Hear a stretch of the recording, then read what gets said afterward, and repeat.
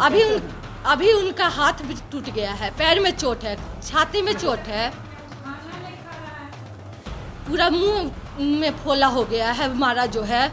कुछ नहीं, एकदम सुन ही नहीं रहा था। जब हम लोग मना करने गए तो हमको भी ढकेल दिया।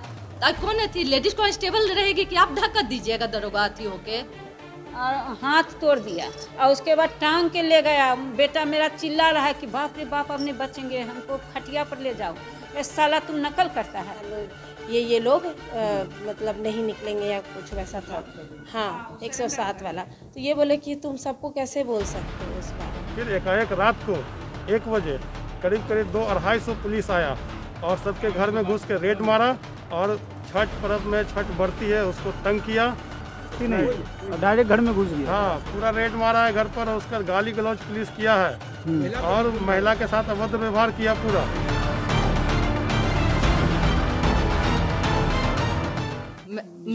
जी मेरा नाम निशा है। हम उनकी बहू हुई मतलब छोटे भाई की वाइफ हुए। हम लोग दिवाली में आए और भैया उसी दिन आए थे। दिवाली के नहाय खाई के दिन छठ हो रहा है हम लोग के यहाँ हम लोग सा, साल में यहाँ सिर्फ़ मम्मी जी और पापा जी यहाँ घर घर पे रहते हैं। और हम लोग बस पर्व त्यौहार में आते हैं। तो वही हम लोग पहले आए थे भैया उस दिन ही आए थे सुबह में। चाय पी के यहाँ पाँच बजे निकले बाहर और बाहर निकल के उन अपना बैठे हुए थे वो। कुछ ग्रुप अपना बड़े जन लोग से जो भी था गाप कर रहे थे। उधर से सिविल ड्रेस में वो आया जो यहाँ का थानेदार है। थानेदार आया थानेदार। आया। वो आके और बोलने लगा कि जिसका 307 में है सब चलो थाना या सिलेंडर करो। तो ये वही बोले कि अरे आप सबको क्यों बोल रहे हैं? हम लोग तो अभी ही आए हैं। तो उसी पर थानेदार बोला गाली गलौज करने लगा। तो ये बोले कि आप गाली क्यों दे रहे हैं? ये कौन आदत है? गाली देने का इसी में बहस हो गया।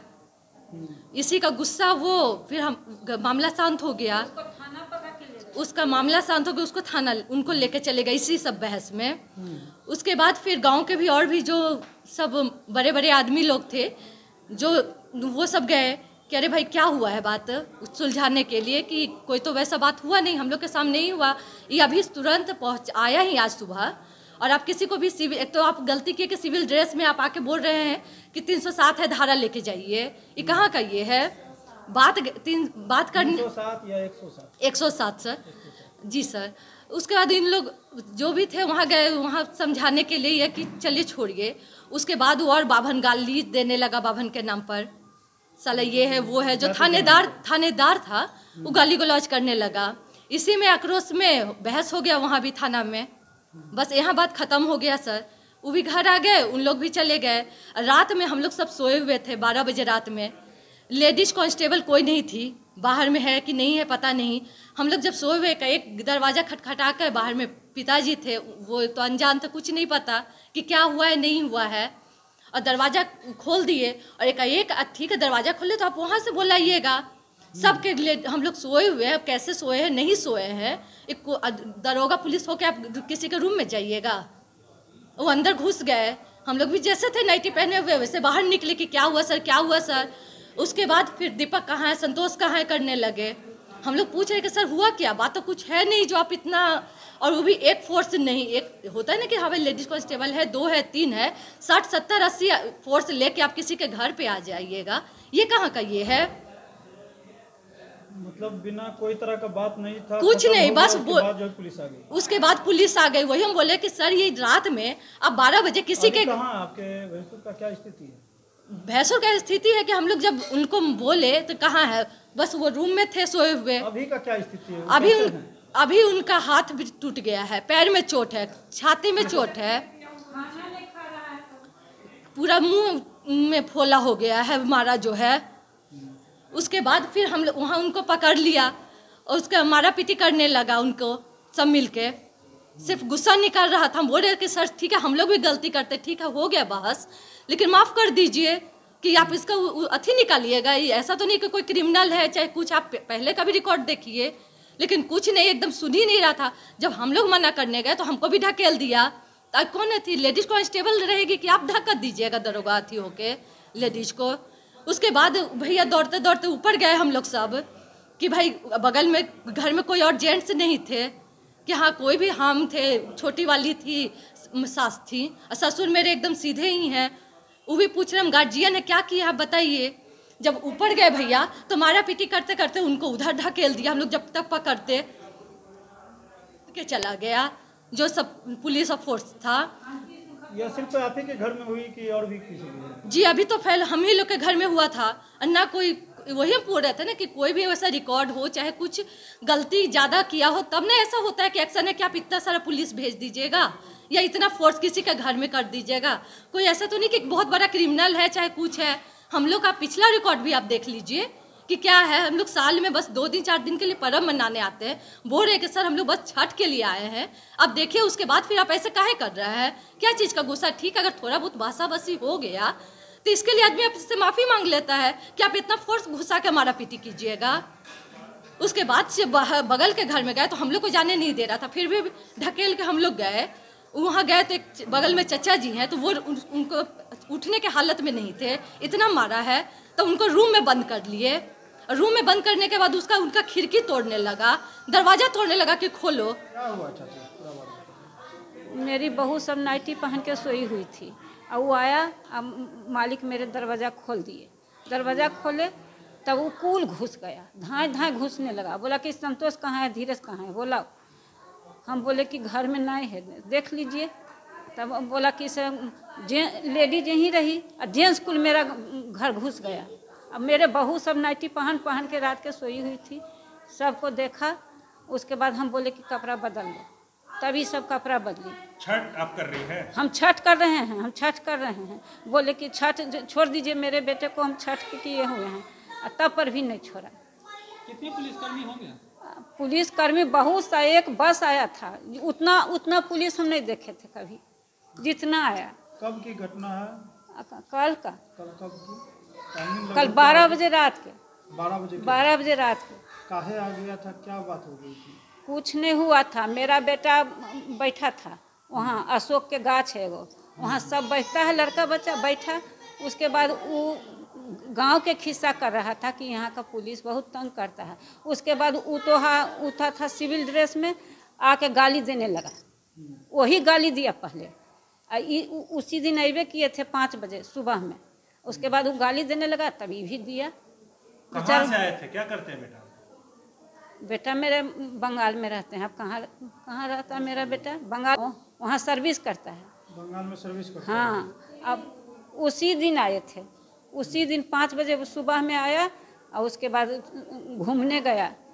और छः बजे तो ये कांड कर दिया। जिनके साथ मारपीट हुआ वो अभी कहाँ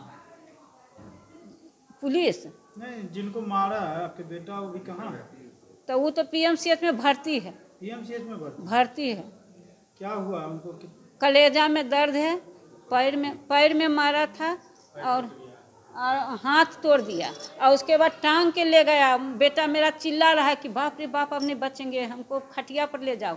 ये साला तुम नकल करता है। साला टांग के ले जाओ इसको। दो आदमी गोर पकड़ा दो आदमी हाथ पकड़ा टांग के ले गया उसको। आ, में आप ही के बेटा के साथ ऐसा हुआ कि और खाली सुबह पहले पहले मेरे घर घुसा किसी का घर नहीं घुसा। हम्म, मेरे घर घुसा पहले। ही हाँ मेरे मेरे घर घुसा अब मालिक इंसान आदमी खोल दिए दरवाज़ा। अब बस कुल धाए धाए घुसने लगा। उसके बाद हमको जाने नहीं दिया। जहाँ मेरा बेटा गिर मेरे बेटा को फेंक दिया छत पर से गिरा दिया नीचे।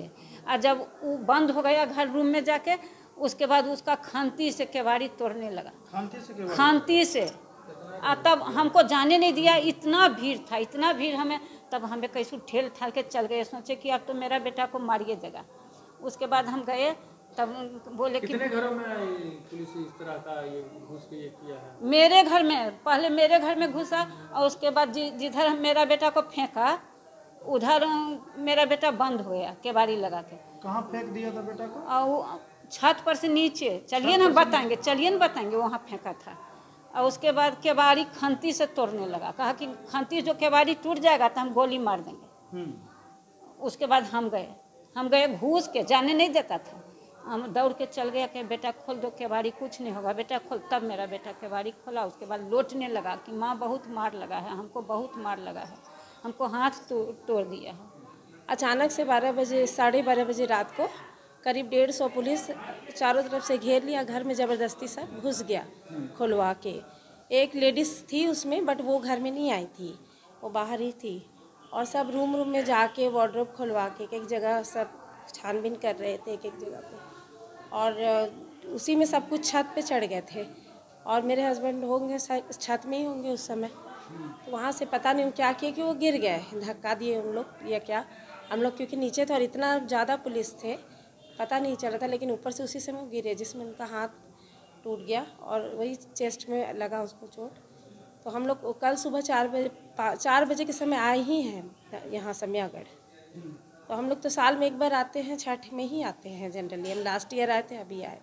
और बीच में एक बार आए थे इलेक्शन वोट ही देने के लिए मुखिया का तो जो इंसान साल भर में रहता ही नहीं है गाँव में, उसको यहाँ कहाँ से लड़ाई होगा? उसके मतलब केस मुकब, कुछ भी उसके खिलाफ कुछ भी नहीं था ऐसा थाना में रिपोर्ट कि कभी कुछ रहा है क्रिमिनल रिकॉर्ड क्यों तो आया? क्यों आके आपके घर में घुस कर जो है आपके पति को मारा पीटा?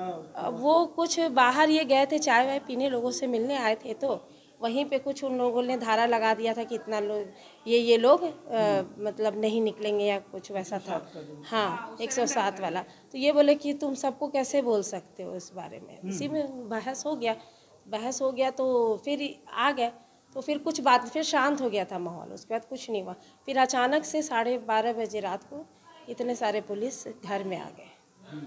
वही सब हंगामा करके पकड़ के और ज़बरदस्ती घसीटते हुए ले गए। लगभग पुलिस बल सौ के आसपास थे। सौ के आसपास? हाँ। सौ पहले भी कोई तरह का बात था मुकदमा पहले तो कोई भी ऐसा था ही नहीं है तो सिविल इंजीनियर में जॉब करते हैं वेस्ट बंगाल में जॉब कर हाँ। वेस्ट बंगाल में। पहले नहीं पहले तो पूरे पूरे हम लोग के खानदान का ही कोई भी एक भी मतलब मामला नहीं है थाने में। कोई भी नहीं है। मतलब इस घर के किसी का भी कोई तरह किसी का भी मतलब तीन पुस्त से किसी का भी एक भी केस नहीं है इस घर के। क्या मतलब इस घर से मतलब आपसी मतलब कुछ किसी का किसी से हम तो कह रहे हैं कि हम लोग सिर्फ़ छठ मनाने और दीपावली अपने फैमिली में मनाने आते हैं। उसी में ये इलेक्शन का टाइम हो गया।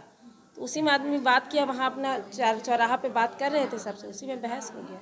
तो पूरे गाँव वालों से बहस हुआ बट स्पेशली हम लोग के घर में हाँ टारगेट बना करके आया गया है अच्छा घटना के बारे में बताइए हमको। देखिए घटना को भली भांति हम तो रहते हैं ये सबसे अलग अपना गाय में कल मारपीट नहीं हुआ है। डेढ़ बजे रात में पुलिस पहुँची। डेढ़ बजे रात में पुलिस पहुँची। हाँ, हमारे घर पर। हमारी नींद हल्का है बुढ़ापा के चलते हम्म हम्म। पति पत्नी हम सोए हुए थे। हम्म। खिड़की से से देखा। पर्दा हटा के। हम्म। कौन? हम फोर्स।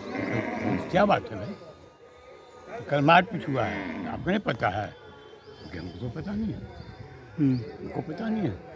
सुनने में आया कि लड़का बुतू इसको बगझक हुआ आजकल फोक जो है गाली गलौज करता है। हम्म। शरीफ आदमी गाली सुनना नहीं पसंद करता गाली देना ही पसंद नहीं करता। है दोनों बात है। हम्म। तो उसमें उसको क्या हुआ नहीं हुआ हम लोग इतने जानते हैं कि बेरहमी से पेश आया। हम्म। समझे न?